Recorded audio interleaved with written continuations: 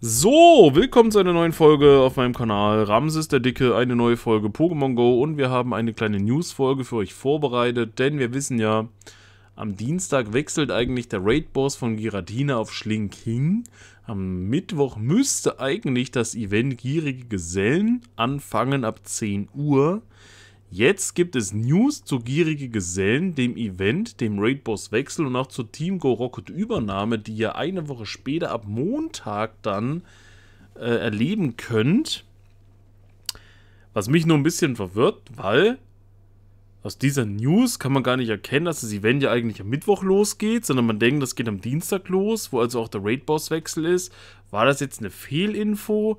Ist das jetzt trotzdem so oder startet das Event jetzt trotzdem am Dienstag? Also eigentlich war ja immer, wenn ein Raid-Boss-Wechsel war, hat auch in dem Moment ein Event begonnen. Ich bin jetzt gerade nicht. Ich habe mir das so eingetragen, dass das Event am Mittwoch losgehen sollte. Aber der Raid-Boss-Wechsel ist halt am Dienstag. Aber wir haben hier ein schönes Video für euch vorbereitet. Das lassen wir ganz kurz mal durchlaufen und dann sagen wir euch alle Infos, die hier auf der Seite stehen.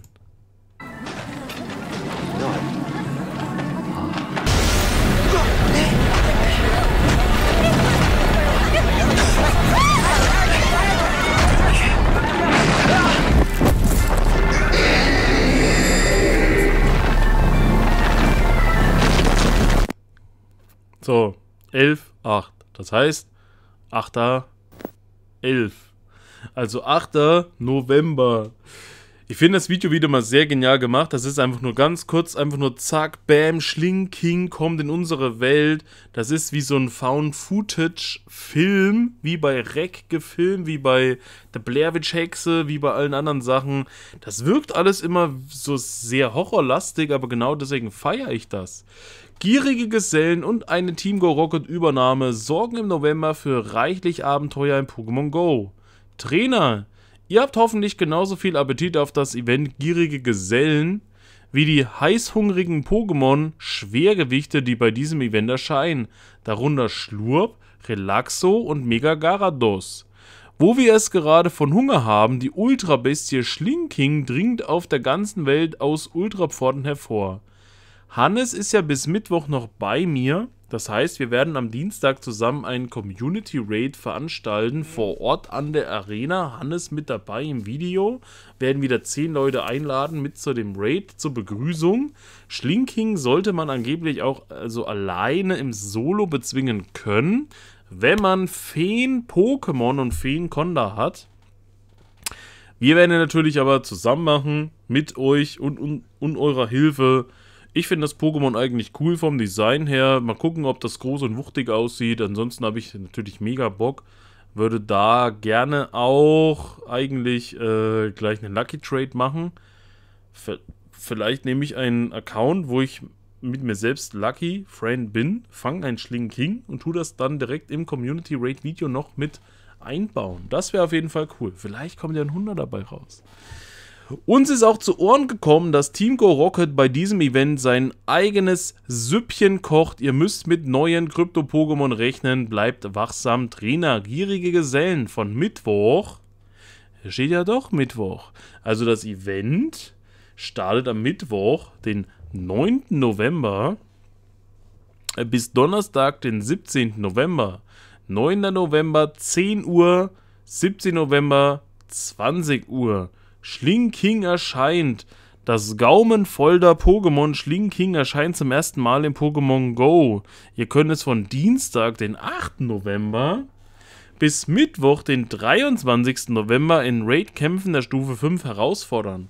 Also Schling King kommt am Dienstag, das Event startet aber erst am Mittwoch, das Event endet am 17. November Schlinking bleibt aber bis zum 23. November.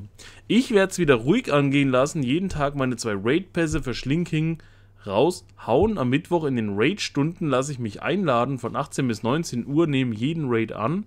Aber werde sonst darüber hinaus keine weiteren Raids machen, weil es kann noch nicht shiny sein und ist auch jetzt nicht unbedingt so das heftige Pokémon. Event Boni. Die ersten drei Eier, die während des Events über das Widget für Pokémon Eier ausgebrütet werden, schlüpfen doppelt so schnell. Das Widget ist auf iOS und Android-Geräten verfügbar. Wilde Pokémon, Alola Radfratz, Shiny, Alola Radikal, Golbert, Quiekel, Shiny, Pelippa, Schluppuk, Bidiza, Shiny, Bidifas, Raffel, mit etwas Glück begegnen dir auch folgenden Pokémon Schlurp, Shiny, Relaxo, Shiny, Schluckweg. Aus dieser Auswahl ergibt sich für mich auf jeden Fall sehr interessant Quiekel, wegen Keifel. Mammutel ist ein sehr nützliches, starkes Pokémon vom Typ Eis.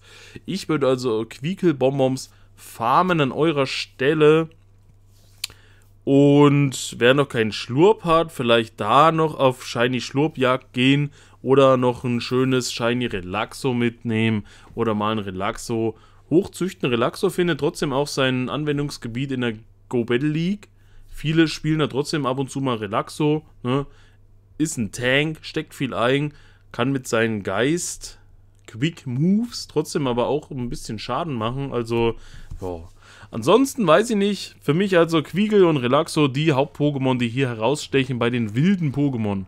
Raid-Kämpfe. Ich habe ja überlegt, ob wir vielleicht am Donnerstag irgendeinen speziellen Raids für Zuschauer-Stream machen können. Wir sollten mal Shadrago-Raids machen, hieß es. Jetzt sehe ich, Shadrago ist natürlich am Donnerstag gar nicht mehr da, denn wir haben in Raids der Stufe 1 Menki, Quiegel, Spoink und Floink. Alle können shiny sein, aber ja, Floink hatte C-Day, Quiegel hatte C-Day, Menki ist zu diversen Kampfevents schon so oft da gewesen, Spoink auch am Neujahrsevent hin und her. Das ist jetzt alles nicht so interessant. Quiegel, das beste Pokémon hiervon, aber kann eben auch wilder scheinen. Also sollte man eigentlich keine Einer-Raids machen. Raids der Stufe 3. Relaxo, Shiny, Flunkiefer, Shiny, Schluckwech und Dohaido. Relaxo kann ja auch wilder scheinen, sollte man auch keine Dreier-Raids machen. Und wer sagt, er braucht noch einen Flunkiefer, würde ich empfehlen, wartet doch einfach, bis Mega Flunkiefer in die Raids kommen, denn dann können ihr nicht nur Bonbons hunten, das Hunderter suchen, das Shiny suchen, sondern auch gleichzeitig Mega-Energie bekommen, als wenn ihr jetzt 1000 Raids macht für das Shiny Flunkiefer und dann, wenn Mega Flunkiefer kommt, nochmal rated für Mega-Energie von Mega Flunkiefer. Also müsste auch hier nichts überstürzen. Für mich auch hier eigentlich uninteressant. Raids der Stufe 5. Schlinking ist neu da. Das ist ein Pokédex-Eintrag. Kann nicht shiny sein. Die meisten werden also 1, 2 Raids machen und dann ist das Ding auch wieder fertig. Mega Raids, Mega Garados. Ist auf jeden Fall in Shiny möglich. Ist ein sehr starkes, geniales Pokémon, aber hatte ja eigentlich erst den Mega Garados Raid Day, wo man eine extrem erhöhte Shiny-Rate hatte, eine Shiny-Chance hatte und was auch ewig schon lange im Spiel ist, auch über Carbador und Garados sonst was als Event-Spawn wild erhältlich. Ist jetzt vielleicht auch nicht so interessant für die meisten Leute. Das heißt, das Event ist eigentlich sehr ruhig und, ich möchte nicht sagen langweilig denn wir haben noch andere Leckerbissen für euch vorbereitet. Das sieht man, wenn wir auf die Eier gucken. Eier, die folgenden Pokémon schlüpfen aus 7 Kilometer Eiern. Übrigens könnt ihr mit etwas Glück zum ersten Mal schillernden Mamfaxo in Pokémon Go begegnen. Wir haben Kikugi Shiny, Kaumalat Shiny, Mamfaxo Shiny. Es gab so viele Events, wo Mamfaxo aus den Eiern kam, als Baby-Pokémon mit anderen Baby-Pokémon zusammen. Jetzt schlüpft es auch und kann das erste Mal shiny sein. Ihr könnt es nicht aus Raids bekommen, nicht wild, nicht aus Feldforschungen. Ihr müsst Mamfaxo brüten. Das wird sicherlich einige Leute wieder ärgern. Andere Leute werden sagen, ach mir scheißegal. Ich brüte sowieso immer 7 Kilometer Eier, aber da bist du wieder auf Freunde angewiesen, die müssen wieder Geschenke schicken.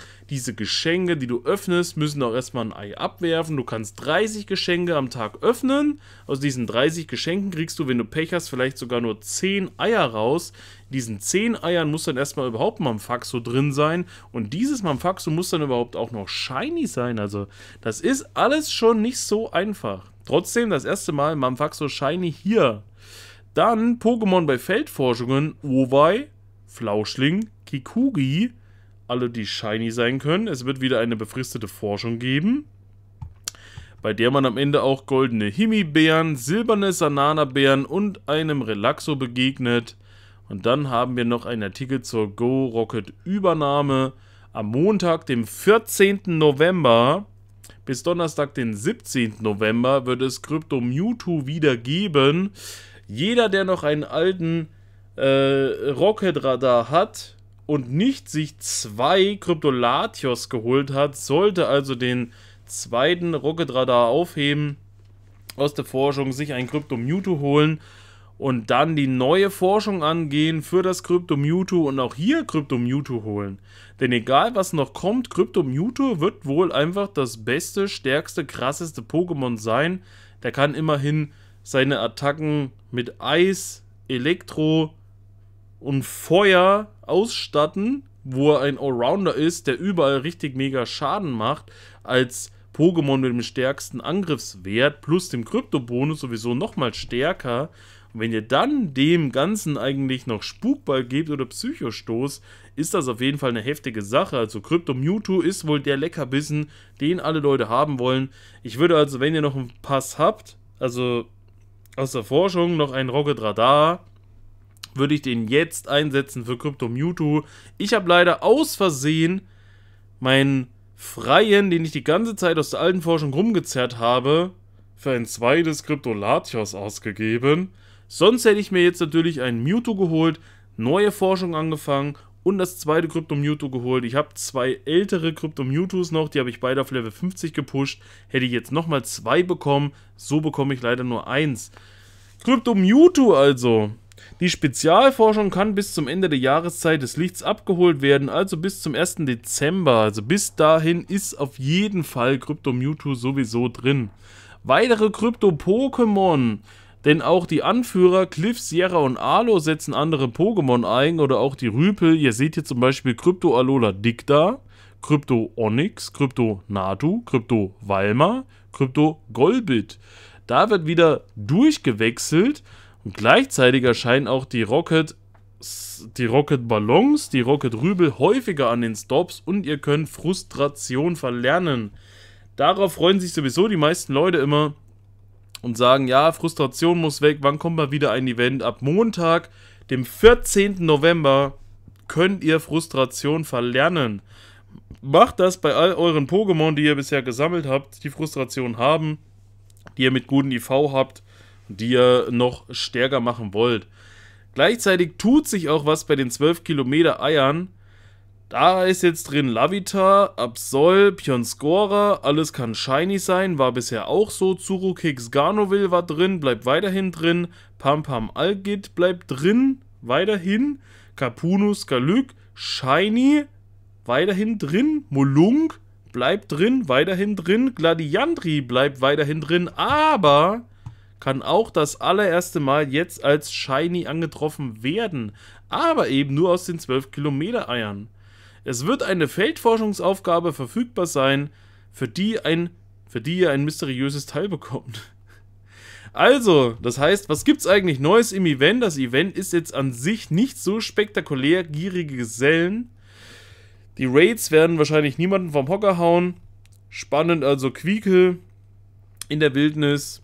Schlinking nimmt man mal mit als äh, Pokédex-Eintrag. Ansonsten für mich sehr interessant, was werdet ihr raiden im Event? Und Mamfaxo Shiny neu 7 Kilometer Eier plus ab Montag dann Shiny Gladiandri aus den 12 Kilometer Eiern. Das war alles. Was sind eure Favoriten? Ich würde vielleicht ein bisschen mit den kleinen Accounts auf 7 Kilometer Eierjagd gehen. Mit dem großen Account auf äh, Gladiandri-Jagd gehen. Die kleinen die 7, der große die 12er. Ansonsten Schlinking-Raids machen mit den freien Pässen, aber wird ein ruhiger, sparsamer Monat. Das war's von meiner Seite aus. Wir sehen uns beim nächsten Mal. Bis dahin, Peace out, Vorhaut. Euer Ramses und euer Hannes. Gute Hannes schläft. Da kann ich jetzt auch nichts ändern. Ciao.